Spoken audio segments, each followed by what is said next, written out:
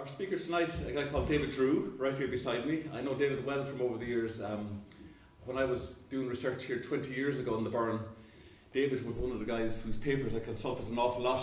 Um, he published a lot of papers, scientific papers over the years about the Burren, and he lives in Carron at the moment, so he knows the Burren both as a researcher and as somebody who's living here. He was senior lecturer, lecturer in physical geography at Trinity College between 1972 and 2011 which is almost 40 years. It sounds like a lot. Um, he's published numerous articles, as, as I just mentioned, and um, he's contributed to the Atlas of the Irish Rural Landscape, and we had Kevin Whelan, as I said here last month. Um, he's recently published a book called The Karst of Ireland, which we'll mention a little bit later, which is available not here tonight, but through the Geological Survey of Ireland. Uh, you have to order it online or, or by post. And he's also contributing to an upcoming book on the caves of Western Ireland, as far as I know. So um, David himself is a keen caver and uh, he's a great friend and supporter of the Burren Trust. He's sat through countless uh, boring meetings as recently as this week, uh, so we're greatly appreciative of that and of, of his um, willingness to speak here tonight. So over to you, David, and a warm welcome for David.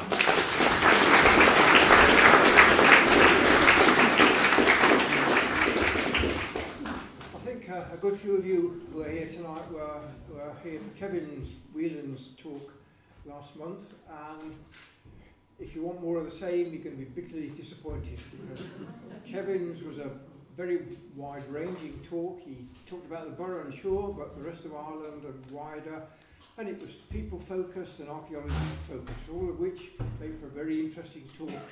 Now this time it's going to be totally different. What I'm going to try and do is deal with two neglected topics or subjects one is the, the non Burren Burren, and the word Burren has been used dozens of times already this evening, but my Burren is going to be the different one, the bit that we're in at the moment, and not the glamorous one down the road there.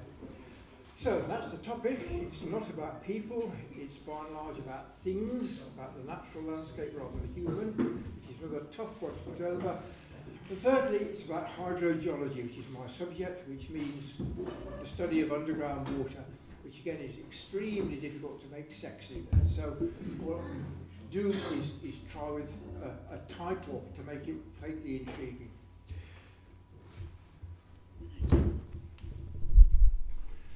So what I want to do is the, the neglected Burren, and we're on it at, at the moment. It's not recognised as part of the Burren by tourists or by Fáilte Ireland, but it, but it is a part of it. It doesn't have the, the glamour of the normal Burren. Now, you've, I guess you've all been to the eastern hills of the Burren at some time or other. This is Mullaghmore, or the view from Mullaghmore, but anywhere on the eastern flank of the upland Burren, as far as Slieve Carron in the north, would give you the same view. If you look west, that's what you see. And that's the popular idea of what the Burren's about.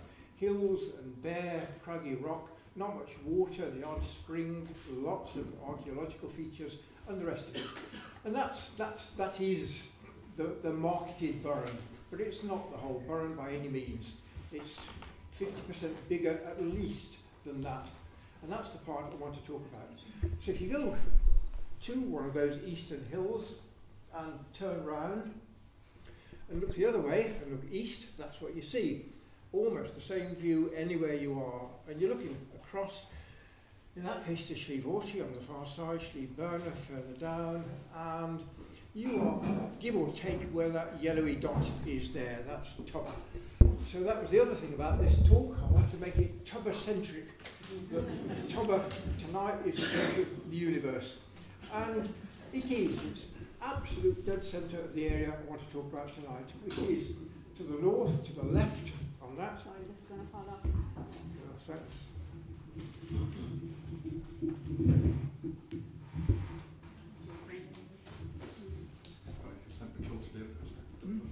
maybe a bit closer to Okay, yeah.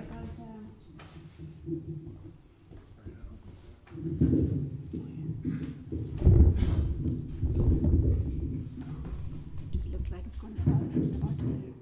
Is that, um, Try that.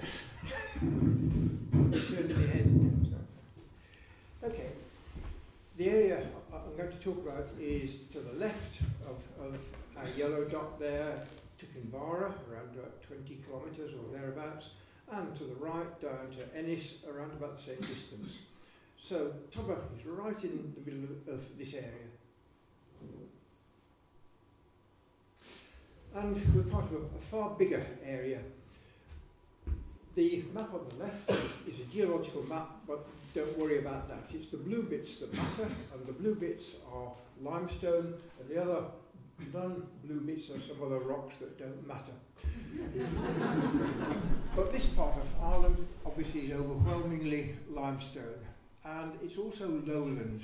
Most of that area you can see is below 300 metres, and a good part of it is below 50 metres. And it's a very big, extensive area. So the southern limit is the Shannon estuary, and on the east, the River Shannon itself, and to the north, the uplands of Sligo and Leitrim, Bolgan and the rest of it, and to the west, the mountains, which are not made of limestone, all the way up. All the rest is one enormous lowland, and under it is limestone rock. And limestone rock, as you're going to hear ad nauseum this evening, is peculiar. It does strange things, especially to, to water. A big area, around about 9,000 square kilometres, so a, a considerable percentage of the whole of Ireland. Tonight, I just want to talk about that little bottom left-hand corner of it, which is blown up there on the right-hand map. And I've called it the Kinvara Gort Ennis Lowland, but it's a, a, sort of corridor because on either side of it are uplands. On the left, the Burren, and on the right, the Slieve Aughty and Slieve Bernagh Mountains. So it's a, a corridor of limestone linking Galway Bay with the Shannon Estuary. And on either side of it, it's surrounded by non-limestone rocks in part, and that's, that's what makes it peculiar. And that's, that's the way to see it, or rather not see it, the, the M18 stroke M17 Ennis to Tuam runs right down the middle of this area, and you can drive along that and see absolutely nothing except green fields on either side and bungalows in very large numbers. and even if you got out of the car and walked, you still probably wouldn't see anything very interesting because what's there is, is hidden to some degree. You need to search for it, look for it in the way you don't on the main Burren. And this is why it's not a tourist attraction because the, the, the interesting things are far from being obvious. But if you drive that, you will drive right by many of the features I'm going to describe this evening. We'll go over one or two of the features on the motorway. Indeed, the big caves run under it in part. So really what I want to do, I'll be happy if at the end of this you said, I want to drive that motorway again, but this time see some of the things on either side of it. And what I'm doing tonight is second best big time. What you should be going on is a field trip to go and look at them in the field. So this is very much to excite curiosity and maybe you're going to have a look. There's the geology, and take little notice of that, except to say there's three sorts of rock on it. The whatever that colour is on the left, sort of browny fawn is it? My colour vision's terrible. And on the right, on the left are rocks that lie on top of the limestone, and on the left, on the right are rocks that are older and are poking through from beneath the limestone. Either way, they behave very differently to the limestone itself. Now, how to put a framework on this tour? I decided to do it by doing two rivers, one of which exists and the other one half exists mm-hmm. and is an invention of, of mine almost. And to take you on sort of a guided tour down both those rivers and say, aren't they strange? Aren't they different to ordinary rivers? And the two, the River Fergus, which I guess you know, and the Gort River, which you've probably seen in Gort, and that's about it two rivers that drain all this area, and yet they are pretty secret rivers. You don't very often see them. The Fergus, yes, there's about three bridges on main roads, and obviously in Ennis you see it, but then it, it disappears again. The Gort River, even stranger. The only place most people would ever see that probably is in Gort itself at the bridge. The river comes from nowhere and it goes from nowhere. To follow these rivers is really, really difficult. And hard terrain to go through, it's fair to say. So the sort of secret, even though everybody should know the names. Now, what I want to say is limestone does funny things to rivers and water because, as you probably know, it, it dissolves the limestone rock. And that means it opens up tunnels in the rock and eventually the river goes underground. And it's a characteristic of all these limestone areas, karst areas as they're called, so the, the water goes underground. And on the Burren, it does the same. There's lots and lots of rivers going underground. Again, most tourists never see them because they're a bit off the beaten track. Lots of springs where the water comes back up, but again, none of them are very, very obvious. But let's start with normality. The Inagh River at Lahinch goes to the sea at. The waterfalls down Ennistymon. The main river goes down to Inagh, down the N85, and it's got tributaries going to the north.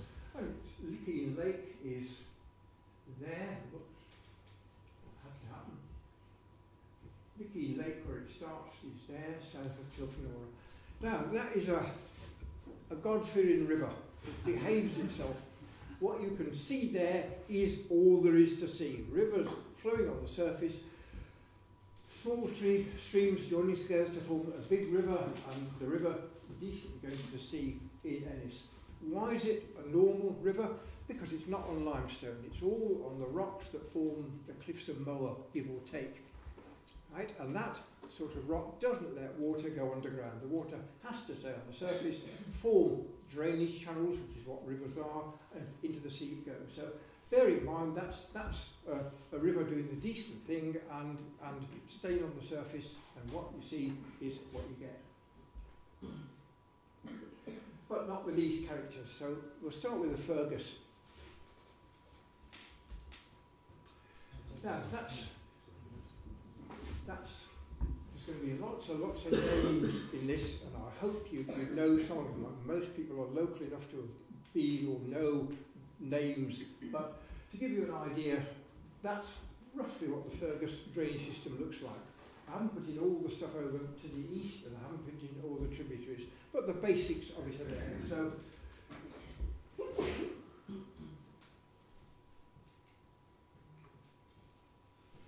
we are off the map up there somewhere, but the river starts over here, south of Kilfenora, which is up there. There's a funny bit there that's missing, we'll come back to it later.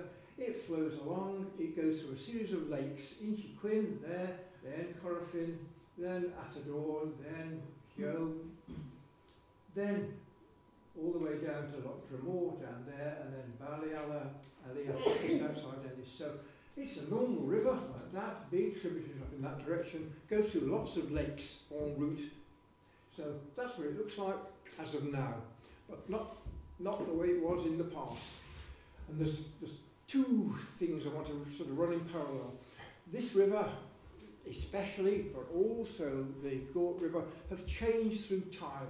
And I mean two sorts of time. Geological time, hundreds of thousands or millions of years, and on the human time scale of the last one, two hundred years, where humans have been messing with drainage. So the rivers have changed. They're not immortal at all, and that's true of all Irish rivers, effectively.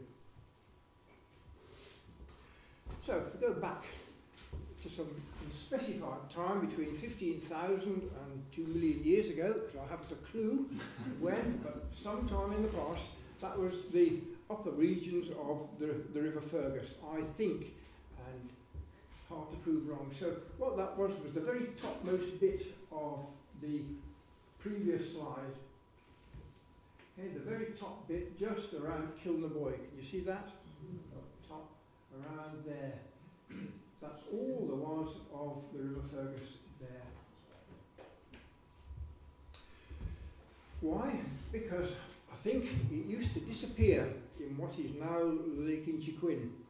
And from there it went underground. I don't know where. I can't imagine anybody will ever find out. But it seems as though the river course, yes, there was a, that nice valley. Then it turns south and it goes into Inchiquin. And it then disappears. And you can see what's happening, at the bottom there is a bathymetric map of Loch Inchiquin, contours of the depth effectively, and as you can see the whole lake really is one big hollow because what those contours are saying it's a great big basin and it's deep, it's 30 metres deep, something like that. And at the bottom of it, a couple of years ago, NUIG did a, a, a coring at the very lowest point of that because they wanted to see what the sediments were like. They were just interested in the recent sediments, the last 12,000, 14,000 years, but at the bottom of it, they hit a clay, a grey clay, and that everywhere in Ireland, that means the end of the last ice age, stuff that was laid down about 15,000 years ago. They stopped then because they were only interested in materials that had pollen. That's when my interest started because that goes down at least another 10 metres. So, in other words, Loch Inchiquin used to be a great big hole in the ground, really, really big, going down at least 20 metres below present sea level. And the, the river would have simply gone into it. That's, that's a, a drone photo of the area. There's the River Fergus, Corofin's over to the left there, so it's coming in from, from the north. That's the present lake, and that's the deepest point somewhere around there. So down there, anglers have known this for ages, for many, many years, but it, it, they did this study much more recently to put science on it. So a great big hole there in what is now a lake, and the river simply vanished there. Where it came up, I don't know. I'd guess either around Dromore, what is now Dromore, or what is now Ennis, but we'll, we'll never know that, I'm pretty sure. So that was a, a very primeval River Fergus, very ancient. But there was another one that's the glaciers went away around about 15,000 years ago from, from this part, and the drainage gradually started putting itself together. And I think this was the drainage that established itself in that period. And you see the River Fergus is chopped into little bits. It's not a river anymore, it's a series of channels that come from nowhere and vanish because they're coming from underground and they're going back underground. And what happened at that stage is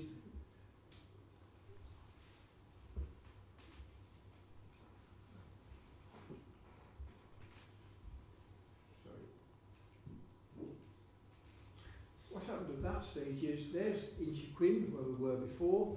The river was now doing what it should do, going through Inchiquin, through Corofin, which is there, and then vanishing. And that's the Loch Sidorn, which is a lake you hardly see when you're in Corofin, but it's there. And if you look on the, the first Ordnance Survey maps in the 1840s, early 1850s, that's where the River Fergus stops. Nothing, nothing comes out on the far side of it like it does today. So for, for that long, long period of thousands of years and still historical times, that was the end of the River Fergus.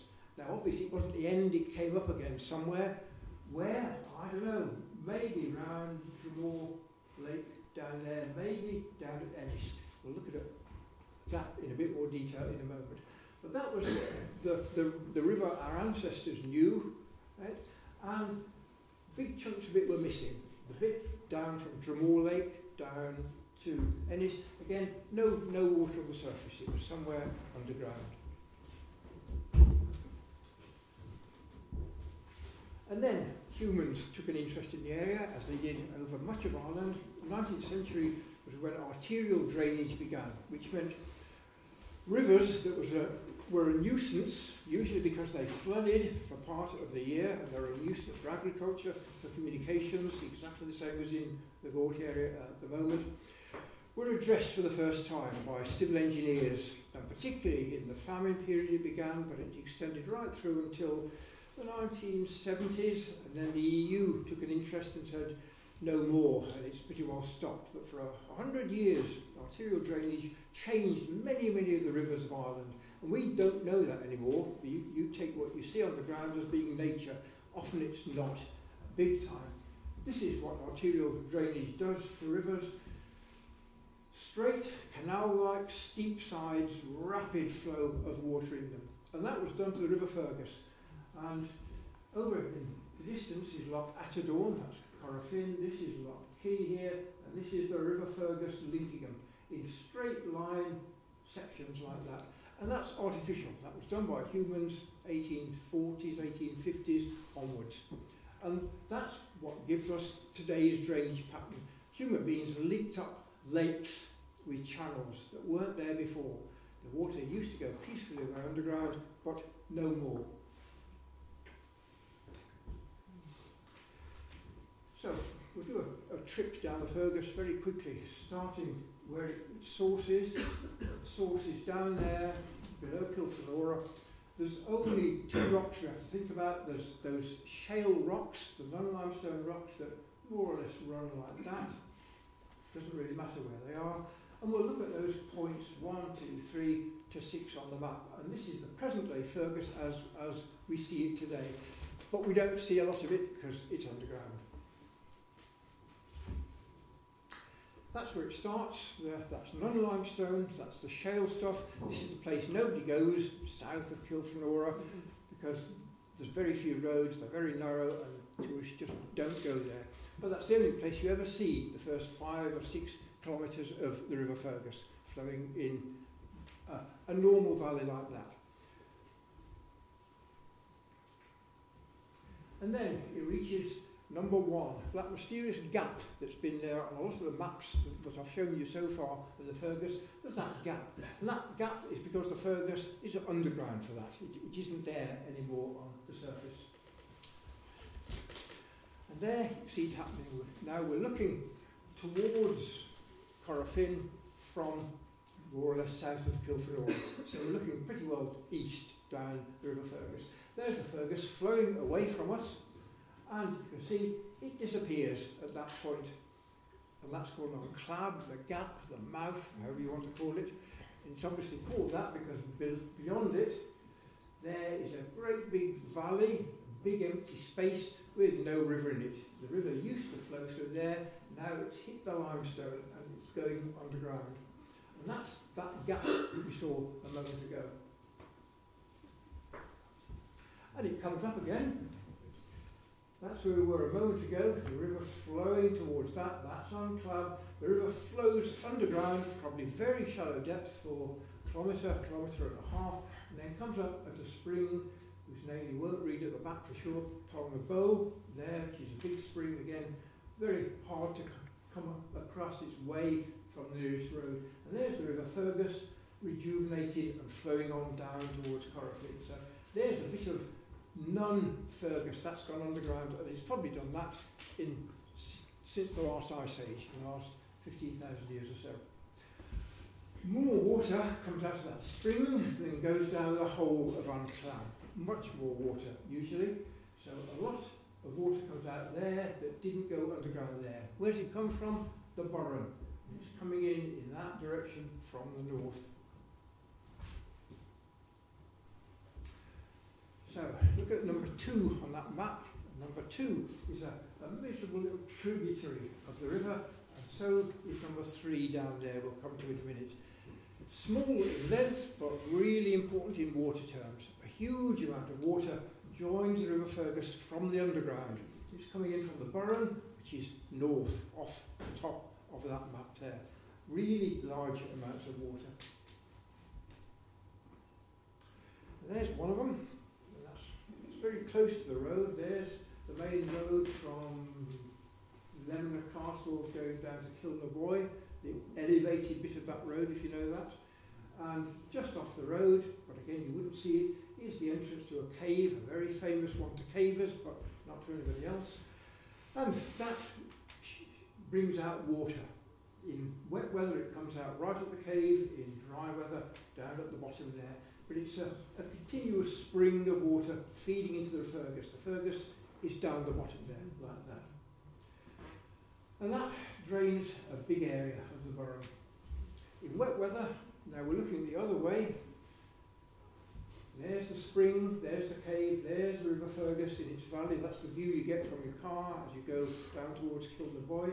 And there is an enormous volume of water coming out after a day or two of heavy rain a few hours later, out it comes, two days later, gone. But it's a vast amount of water. So you have to think again about that map I keep showing you of the River Fergus. There's more to it than that. Now, this, this is a different sort of map. This is where we've been so far, on the upper River Fergus, right down the bottom. That dot there is that spring I just showed you. That huge dot is the next spring we'll look at, at Elm Vale. And this black line is the area we think drains underground to those springs. So it's part of the drainage that goes into the Fergus. Every drop of rain that lands in that area and doesn't evaporate ends up in one of those springs down there. So there's more to the Fergus than we thought. So if we add a bit on to it here, this is a, an X-ray map looking down on the River Fergus and what probably is down there. These are the springs we are just talking about. Okay, they're right down the bottom, just see the pictures of. These green lines are imaginary caves, conduits, tunnels, tubes, whatever you want to call it, carrying rainwater down to the river. Some of them have been explored by cavers, one up there, one or two from there, but only for very short distances, relative. So what you're looking at is, is a, a river system with a lid of concrete on the top of it, concrete being limestone. It's not very far below the ground, but you don't see those, but they gather up the water, bring it out there, and that's another mysterious part of the Fergus you wouldn't know existed. It goes a long way, because you're talking about Poulnabrone, that sort of area, is up there, and if you dye was put in, in a, a swally hole there, some of it went to Ballygorn, some of it went right down to the Fergus. It was right on the divide where a, a raindrop in theory was split into two and go two ways.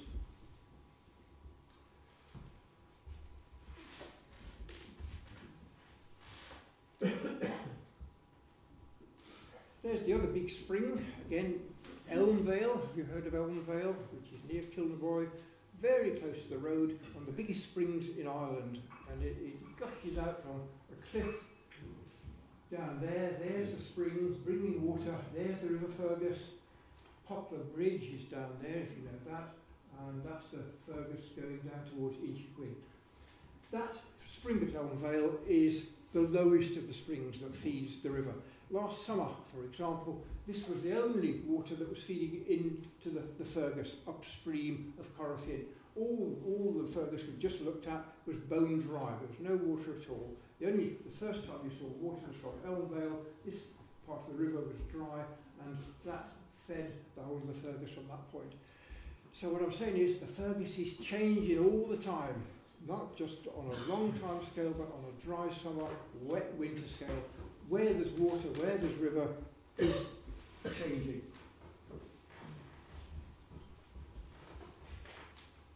Number four down there, halfway between Loch Atedaun, which is Corofin, and Dromore Loch, which is by the Nature Reserve, which I guess you probably know down there, which is number five.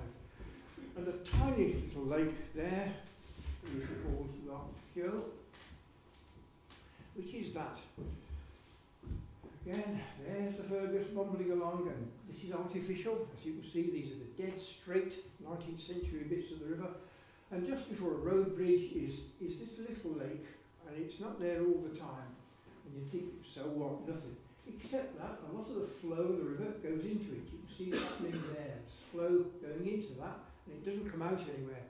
And it doesn't come out because there's great big swallow holes in the base of that. If you, if you went there last July, you'd have seen almost all the River Fergus, I think 95% of the flow was going down there and disappearing underground to those swallow holes. And coming out, we know where, in water trace, but we'll come back to that later. So there was another finish for the Fergus last year. It appeared at Elmvale, disappeared there, and apart from that, there was no River Fergus at all. But that probably won't happen for another 30 years, I guess.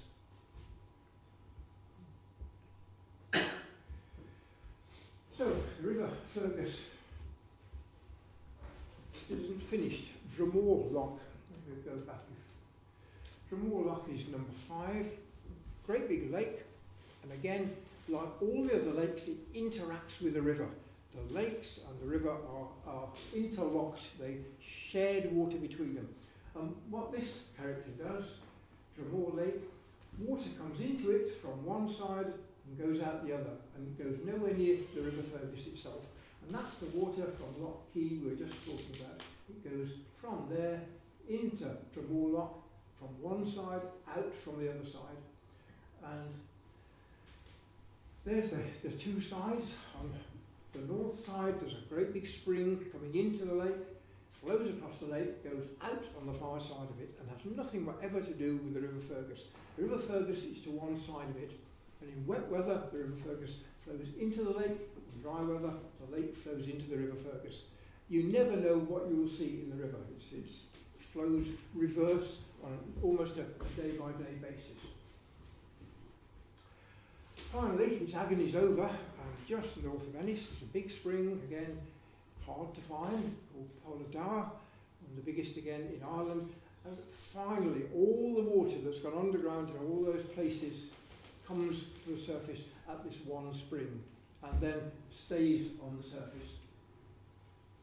Just to show you what a mess it is, this is the lower part of, of the River Fergus from Corofin down to Ennis.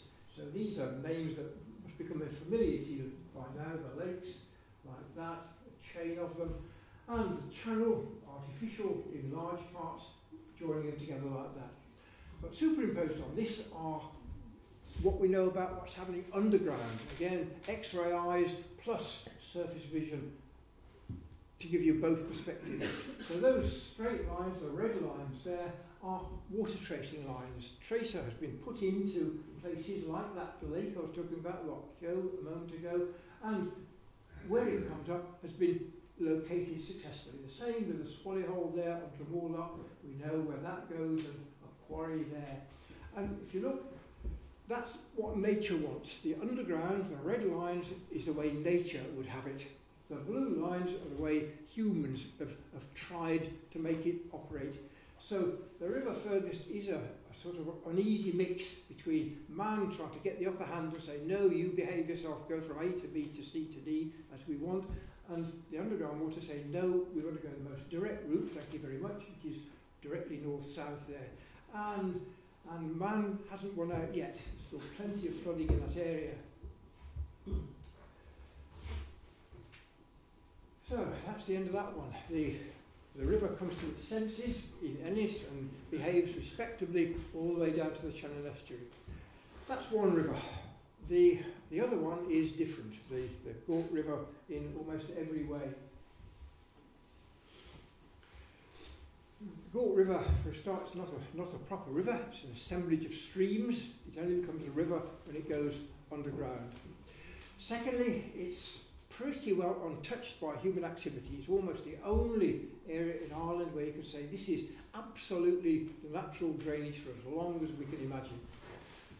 And it's also the one that's most karstic in the sense that the underground really runs things in terms of drainage. What happens on the surface is almost insignificant compared with what's going on underneath.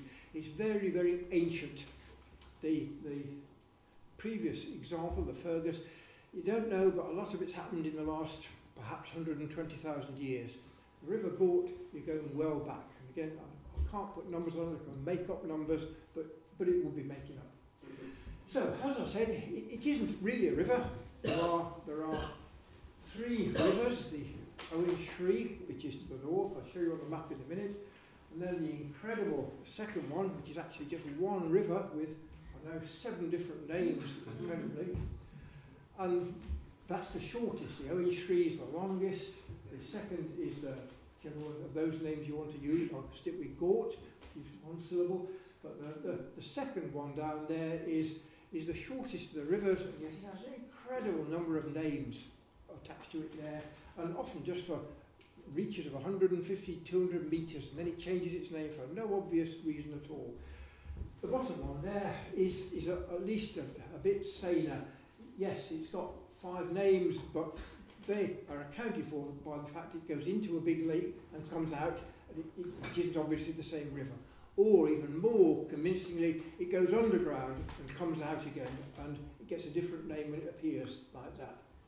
But they, they are the rivers that collectively don't join up on the surface. Two of them do, the top two. The third one joins up underground. And the only place you ever see the full river is at Kiltartan. If you've been there, almost opposite the church, I'll show you a, a slide of, of, uh, of it in a moment. That's almost the only place, just for a few hundred metres, you see the full river, and then whap, it goes underground, and you don't see it again until the sea. So this is the most mysterious of the rivers. Two, two of them I'll look at in a little bit more. The Owen Shree on the left, and the output there, Kinvara. Owen Shree is the longest river, middle-sized flow to it, and I won't show you this slide again, but halfway down on the right-hand side, the river loses about half its water, but you'd never know it. You can walk, walk down the river and you wouldn't know, but in fact half the flow is sliding away to the right through little crevices and holes in, in boulders. And I'll show you more of that in a moment. So that's the rerun of, of what the River Fergus looked like, except this time it's for the, the Gort River, so called.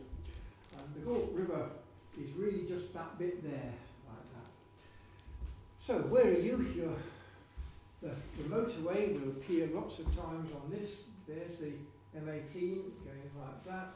There's Gort down there. There's Kinvara. There's Corranroo. And these are the rivers. These are the Slieve Mountains on the right, sandstone. No water can go underground, so you get normal drainage. And these three rivers are draining off those mountains, the, the peaty areas like that. This is the Owen Shree, the longest of them like that. And this is the middle one, Ballylee, and this is the Gort River like that. And up almost under the, the old main road from Galway to Limerick. You know your colour vision's like? Mine's terrible, but when I drew this, these were blue all the way down there, and then there's some green there. Can you tell the difference between blue and green? Because I could you know, study, but now they all look the same. Anyway, when there's two lines, what it means is it's the river, but the river's underground. When it's one blue line, the river's on the surface. So you see, they all start as surface rivers. These two then go into caves and join up. This character has a cave all the way along like that. So historically, that's the way it was. These rivers flowed from the mountains, reached the limestone, went underground, and in a great big cave, flowed off the map and came out somewhere in Galway Bay. So that's Corranroo, which is where the, the road from Kinvara first goes up onto the Burren. Just before that is Corranroo, the bay. That's where that drainage used to go to. Some of it does, most of it doesn't these days. But really out into Galway Bay at great depth like that. And today it's changed, but not as radically as, as the other river. This is what things look like today. So again, the, the two colours involved. What's changed is some of the caves up here, which weren't very far below the surface, have collapsed. So for Gort, you can see there's bits of river there, then an underground bit, then a river bit, then an underground bit, then a river. So the river just appears in little gaps, but for most of the time it's underground. And then it goes underground all the way, and the same with this one. The other big change is most of the water now goes to Kinvara. It changed its mind for, for reasons I won't go into in this talk, but at some point, instead of going the long route into Galway Bay, it shortcutted it. It took a shortcut and it comes out of Kinvara these days the springs there. yes, this has changed, but we're talking a time span of probably hundreds of thousands to millions of years for, for this drainage network to evolve and to reach the state it has today. Complicated map. I want to try and make a bit more sense of it by saying let's divide it up into three zones. Where we've been so far, there's Gort, there's Corranroo, there's Kinvara, like that. These are the rivers, that's that Owen Shree I talked about. This is the, the middle one that goes to Ballylee, and this is the Gort River, like that. And they all join up, come out from spring there, go underground, go into Coole Loch, like that. This is an old map I produced pre-motorway, so that's the N18 instead of the M18, but near enough the same thing, so you can orient more or less where you are. But it's maybe easier to think of it as three sort of water zones. On the right, the place where the water is on the surface in normal rivers and then goes underground when it hits the geological boundary. So that's that bit. I've just vaguely called that swallow holes. And you can see there's the rivers disappearing as they get to that. Then there's a middle zone where bits and pieces of river reappear. The underground river comes back to the surface, but then it disappears again. Or it appears in a lake, flows across the lake, and then disappears. There's still water on the surface. But then there's the third zone, the biggest zone, all the way from that area all the way to Galway Bay, where you don't see any water at all unless you really search for it. And this is the underground, the totally karstic area. So three sort of zones. I could spend weeks talking about that, but let's simplify it and look at just a, a sample. The Owen Shree, the most northerly of those three rivers. That's where it rises on the Slieve Aughty, like that. It's a, a normal looking stream, except as I say, it's leaking water through its bed in that zone. But really, it's a much messier route than that. The Owen Shree changes its behaviour according to the weather, according to water levels. And I've shown you the lower part of the river there in a map under different conditions, and on the right, the, the idea of what it looks like from a drone photo. So there's the river. That's that place I just pointed out to you on the right hand bank where there's always water leaking away underground. That happens all the time, every day. That water goes off to Kinvara by its own sweet route. Haven't a clue which way that goes. But normally, in higher medium water, all the all the river goes into this area called Blackrock Turlough. And beyond that is another lake called Loch Coy, and beyond that is this area called Ballylee, by Ballylee Castle, gates and the rest of it. This is the, the picture of the same thing from the air, and you're having the, the camera was there, looking in that direction. Okay, so you're looking up to the north, northeast. There's Loch Coy, there's Blackrock Turlough, and what you can't see what going into that is the river, Owen Shree. Under high water levels, it's, it's fairly simple. Some of the water goes underground there, yeah, forget about that, that happens all the time. The rest of the water goes into this Blackrock up there, but never comes out the other side of it because it's full of swallow holes. So it sinks no matter what. That's the total sink for the river. But some of the water from Blackrock leaks away and again goes towards Kinvara. Underground, you don't see that again ever. Some of the water goes into Loch Coy and emerges in the lake bed somewhere like that, and in springs around it. And under these conditions, water flows into Loch Coy. There's the lake, there's a, a spring on the side of it, which is this one, and the water flows out and fills up Loch Coy. Loch Coy can be completely dry, massively full, it can be in between. But for part of the time, water flows from underground into it because it's coming out under pressure from water flowing underground from Blackrock there. So, high water levels, that's the pattern. And the flow goes on down to Ballylee and joins the big underground river. Medium water levels, the sort of thing, most days it will be doing this. And things have changed. There's Blackrock now, not full of water anymore, like in the in the first slide. This time, a stream coming in and all going down that one swallow hole what's happened here, there is the swallow hole that always operates, there's black rock, and all the water now is going underground. But it's not going to Loch Coy anymore, there's not enough pressure. All the water's going off somewhere else. What's happening at Loch Coy? Loch Coy is now draining. The water's flowing exact opposite direction to the previous slide. There's the water going into, into the underground and disappearing. So Loch Coy has what's called an estavelle, an estavelle, which means a hole in the ground that sometimes brings water out and sometimes takes water in, depending on the pressures of water underground. And this is a classic example of it. Coy empties and fills according to the pressure of water. And there's the, the third condition, really low water. Last summer, again, big time this was. No water even makes it to Blackrock. The Owen Shree River completely disappears down that one set of holes in its riverbed up there. Blackrock, Tur- Turlough, Bone Dry, that's what Blackrock looked like last summer. Loch Coy, dry or a dribble of water which can't drain away, but it's not active. And the spring there, the valley, the river sinking there. This time the, the hydrological system is at its lowest ebb. Just a contrast, that was Blackrock in, in the summer and the winter there. And that's the, the difference between the two. Two days is enough to, to completely fill it like that. and the Gort River is the most southerly one, and if you've seen any of these rivers, it's going to be this one.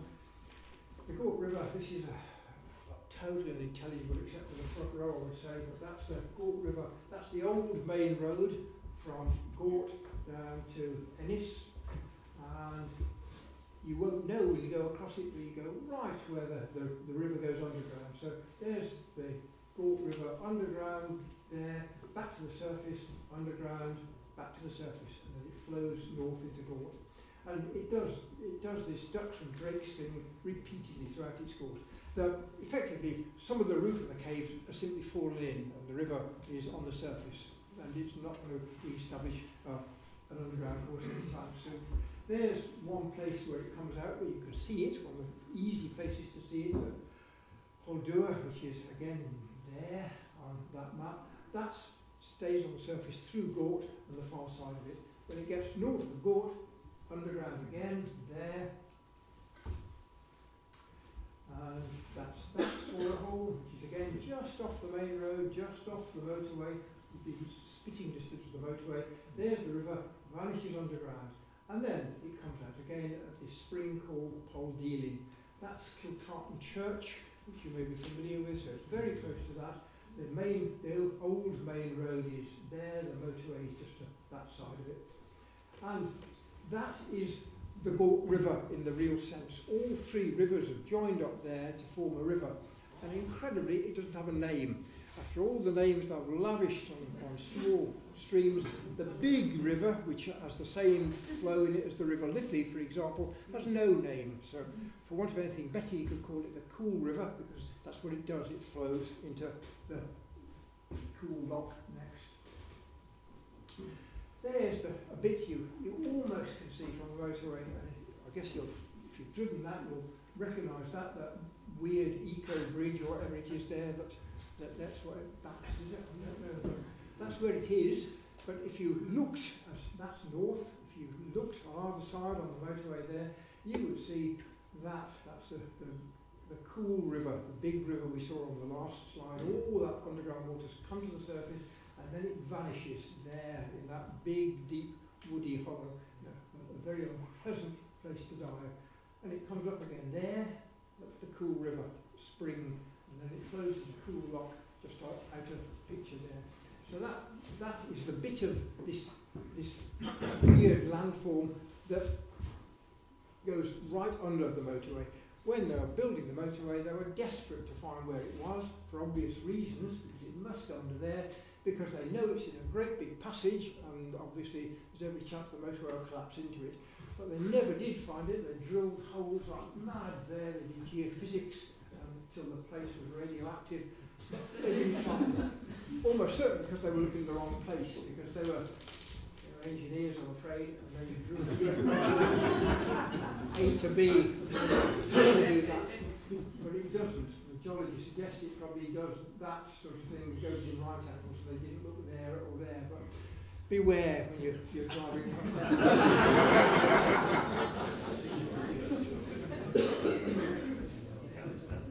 So now we're in this, this weird zone. Uh, that's where we were, that's the, the old road, there's the motorway, that's, that's the swallow hole and that's the sink we just looked at, okay, and there's the motorway going between the two like that. And as you can see, the river goes down into Coole Loch and it doesn't come out again.